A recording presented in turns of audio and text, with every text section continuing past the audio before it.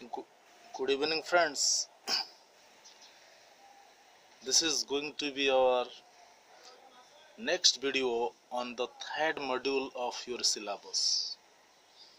The third module primarily contains elements of direction, process of communication, leadership, and strategies to improve communication. It is a beautiful model. As I have already explained, direction is also an important managerial function. So, when you become a manager, you need to direct the efforts of your subordinates to get the things done. Anyway, as far as my previous classes are concerned, I have already explained that managers should have some leadership qualities Managers must be excellent in communication. Managers should supervise the actions or the behavior of the subordinates. So, these four things basically leadership, communication, supervision, and motivation. These four things constitute the elements of direction. Let us speak these elements in an elaborative manner let us speak about the first important element that is about communication. So, when we speak about communication, we need to accept that it is the human beings who have got that power to communicate effectively. As long as you are a manager, everywhere you are communicating. For example, you are instructing something to your subordinates. Through instructions, you are also communicating. For example, you are motivating your subordinates. So, through motivation, you are also communicating. Even when you are also reading something, you are also communicating. So, everywhere there is some important element that is what we mean by communication. So, let us understand the process of communication. Under the process of communication, we are primarily including four things. So first thing is there will be a source, there will be a receiver, there will be a channel, there will be some encoding, there will be some decoding, there will be some feedback. So these are coming under the process of communication. So let's know what is exactly happening in the process.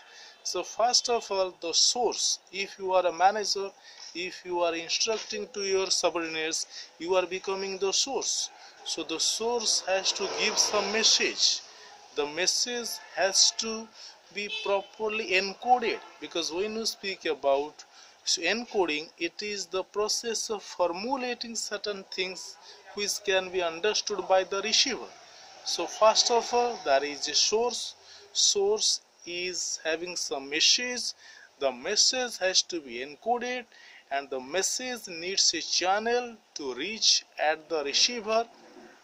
And the receiver has to now decode the message. He has to interpret this message.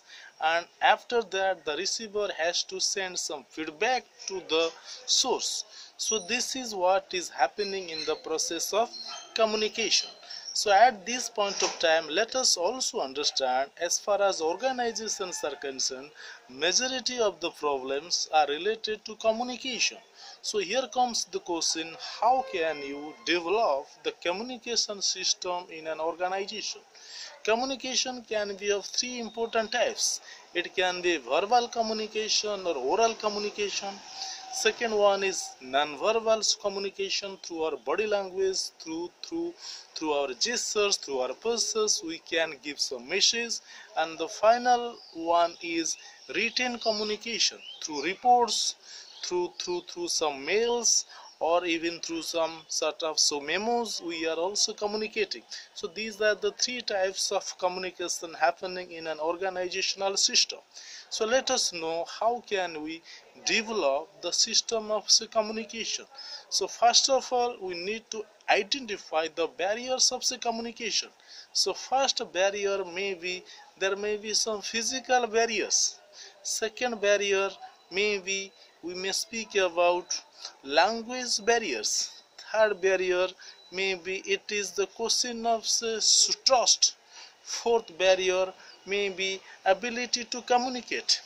Then fifth barrier may be resistance to change so there are many barriers which are in the process of the communication. So if we can eliminate these barriers, we can develop effectiveness into the system.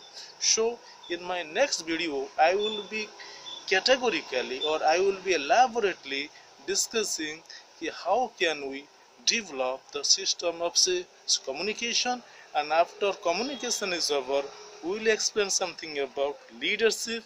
And finally if we are getting some time we will also speak something about motivation. So finally wishing you a good day